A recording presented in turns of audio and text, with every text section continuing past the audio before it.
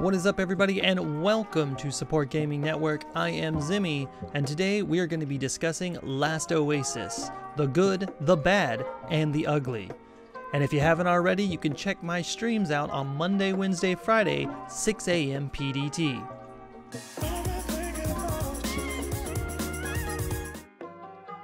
Last Oasis is an MMO survival game currently out in early access on Steam. It is developed by a Polish company by the name of Donkey Crew. This is their first and only title and was established based on this IP. Last Oasis takes place in a point where the Earth faces a cataclysmic event and the Earth's rotation stops.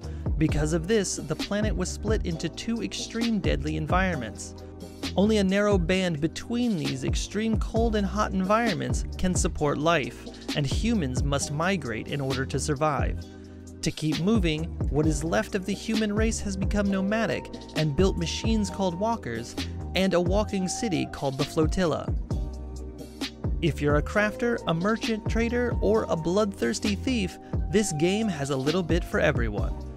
All servers are divided into what are called hexes, and each hex has its own unique layout. From trees, mountains, water sources, and sand dunes, each hex will provide you a different experience and resource. Furthermore, hexes are divided into three versions. The first being the starting hex, where each nomad or player will begin their story, and then the other two being medium difficult and hard difficulty.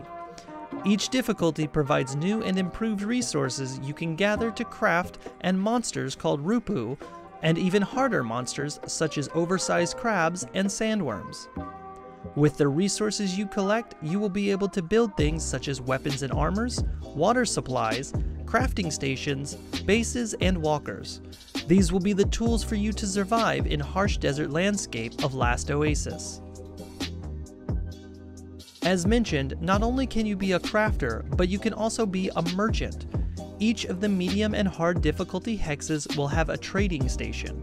In the trading station, you will find many of the resources you can find out in the world that you can either buy or sell for in-game currency. Some hexes have items for sale cheaper in one place, but more expensive in the other. This is all based on supply and demand of a specific hex, so you traders out there get your merchant walker called a toboggan and get to trading. Lastly, there is PvP in Last Oasis. This can range from a small group combat, large scale combat, and if you're in the mood for stealing stuff, also pirating. Last Oasis is a full loot PvP game, which means if you die, you lose everything that is on your body unless you can come back and pick it up in time.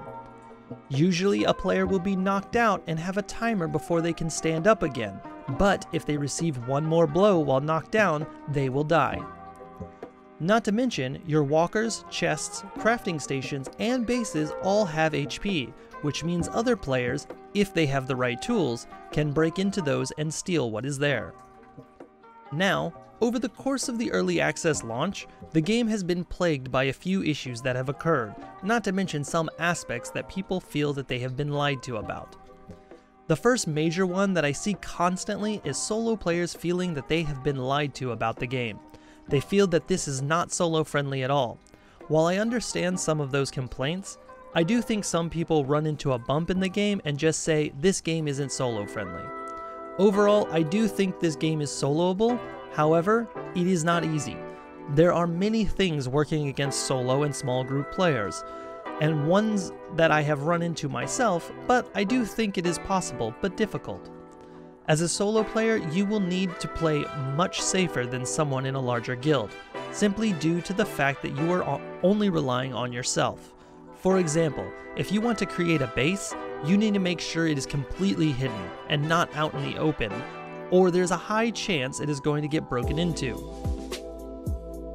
PvP is much more difficult because there are larger groups, so people need to learn tactics such as guerrilla warfare to make sure that they are getting the upper hand.